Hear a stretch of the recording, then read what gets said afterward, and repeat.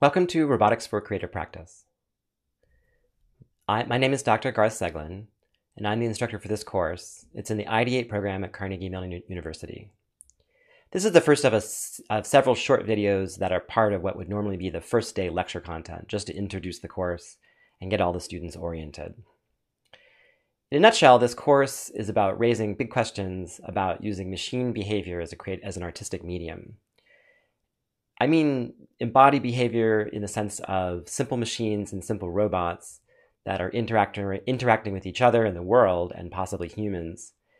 These form a, a spectrum of behavior that itself can be used in an expressive way. And the idea is to see how we can use that uh, to raise questions about art and humanity and the kinds of interactions. As such, it's a pretty practical hands on course. The emphasis is on actually making projects uh, leading to a final performance. The final performance is normally public and documented, and we'll see how that works this semester. I consider it a research class in that it's mostly asking questions for which there aren't clear answers. So the idea is together to look at previous work, look at the ideas, consider the kind of big picture, learn some essential skills, and then try to immediately apply them toward creative ends. And it's that, that exploration that we'll learn the most. We'll make simple embodied machines. First, we'll work in simulation, which will have fewer bounds and we'll be able to build bigger things. And then, uh, hopefully, in some physical capacity.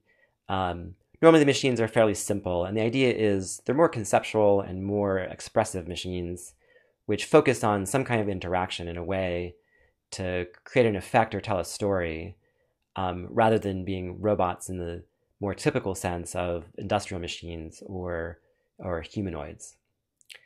It's an IDeATe class, specifically uh, cross-listed between robotics and drama, and situated within the physical computing area and the integrated uh, environments area. Um, it's intended to, to address a pretty wide range of experience levels.